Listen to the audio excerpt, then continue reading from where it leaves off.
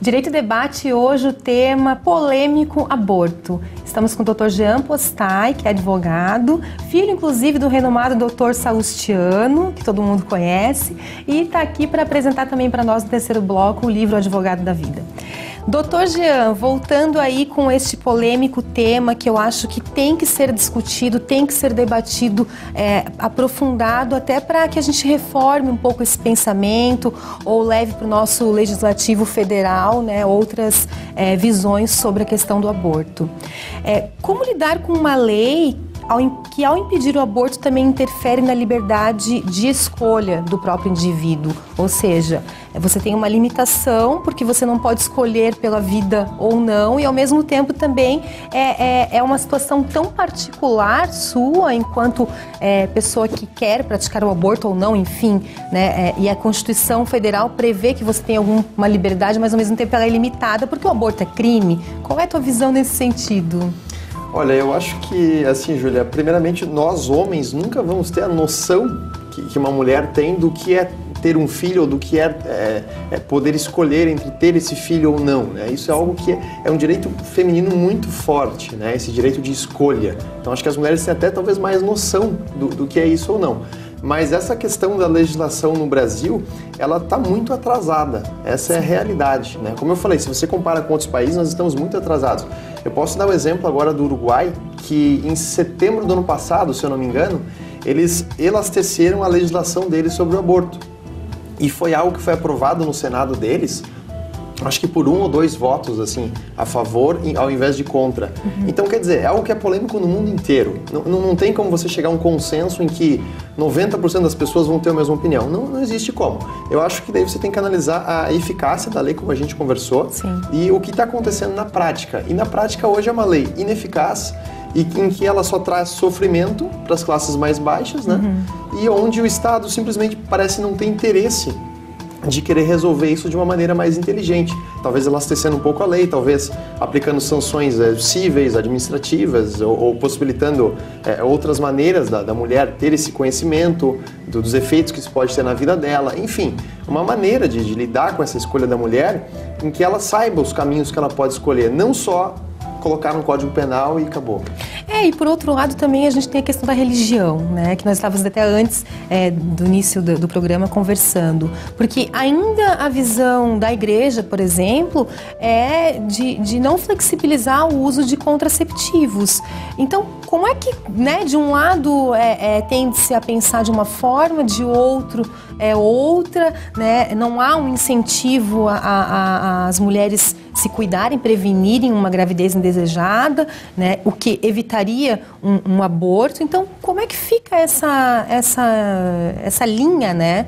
De um pensamento de outra forma, de outro lado a lei vem né, é, criminalizando, então como que, que e funciona? E aí vem a questão de que a gente está no Estado laico, mas sob forte influência católica, claro. né? uma religião católica muito forte. Eu coloco a igreja no, no meu livro também, uhum. de uma maneira respeitosa, claro, né? sim. mas porque eu acho que ela tem uma influência muito forte sobre esses temas no Brasil, sobre aborto, sobre casamento sim. gay, sobre... Uhum. tem uma influência muito forte mesmo, né? Uhum. E a gente fala que vive no Estado laico, mas a influência católica, até se você pega a bancada dos deputados, dos senadores, é muito forte, uhum. né? Então, é algo que deveria ser evitado. Você nunca vai conseguir evitar 100% a influência da religião, né? E a religião é importante. Mas, às vezes, eu tenho a impressão de que a religião serve como um freio, né? Sim. Para os avanços da legislação. Por exemplo, a questão do casamento gay, a questão do, dos contraceptivos. Uhum. É, a religião impede isso, não quer que isso aconteça. Mas se você pega na história, no passado, por exemplo, a questão do divórcio era muito mais combatida pela igreja, era uhum. um absurdo. Sim. E hoje já é um pouco mais tolerável. Então a impressão que eu tenho é que a igreja vai, parece que freando as, as mudanças legislativas, ela parece que vai freando tem um lado positivo disso, mas também talvez tenha um lado é, negativo. Mas né? ainda no meu ponto de vista ainda falta muita evolução, falta muita né? Coisa, progresso e tá.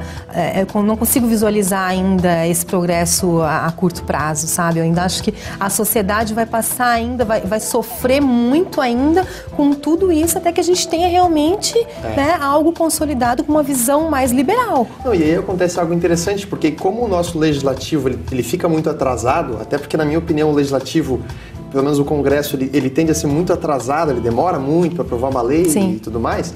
Quem que passa a ser o responsável pra, por acompanhar essas mudanças? O judiciário. O judiciário. Se você pega ali o, a questão do, do, do, aborto dos anencéfalos, foi Sim. o judiciário. Exato. Se você pega ali a questão do casamento gay, quem que começou a permitir ou, a, ou elastecer essa questão? O Poder Judiciário. Então, na verdade, hoje a gente vive um, um estado no Brasil em que a gente fala que, que é baseado em leis e tudo mais, né, que, se não me engano é o civil law que chama, Sim. mas na verdade a gente, se você olhar até as petições que nós advogados Uhum. fazemos, muitas vezes a, a principal fonte do direito é a jurisprudência. Sim.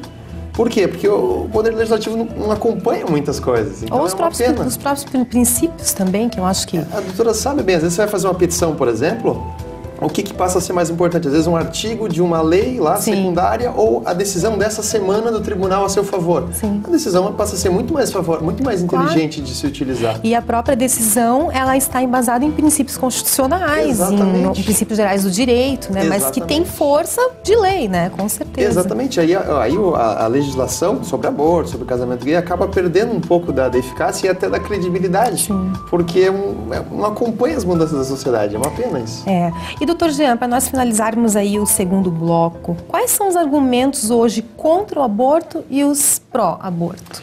Os argumentos contra o aborto são principalmente de que se trata de uma vida, o que é, é realmente um bem maior. Por isso que eu sempre bato na tecla de que tem que ser algo a ser evitado, é uma coisa lógica, né?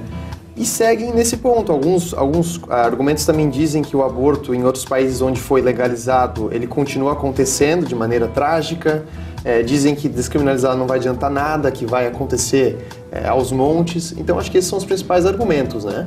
O principal deles, óbvio, é a questão da vida, que realmente é um argumento muito forte que você está lidando sobre um direito de uma pessoa que ainda não nasceu. Então é muito fácil você é, descriminalizar o aborto, mas ao mesmo tempo é um direito de uma pessoa que não nasceu, sequer pode se defender, né?